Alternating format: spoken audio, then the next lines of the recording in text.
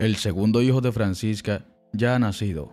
Ha sido su casa televisiva, su equipo de Despierta América, el que hacía el feliz anuncio. A través de un cariñoso mensaje, daban a conocer la llegada al mundo del bebé y daban más detalles del alumbramiento. Franco, el segundo bebé de Francisca y Francesco Zampogna, llegó a este mundo, hoy domingo a las 9.50 m. Tanto la mamá como el bebé se encuentran en perfecto estado de salud. Muchas felicidades, compartió el show desde sus redes.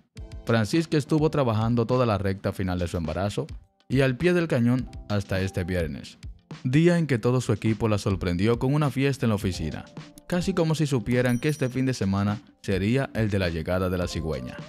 Y así fue. Ya en los últimos días, la feliz mamá de dos reconocía en sus redes que estaba muy cansada y se sentía pesada. Justo salía de cuentas, y el nacimiento podía ser en cualquier momento.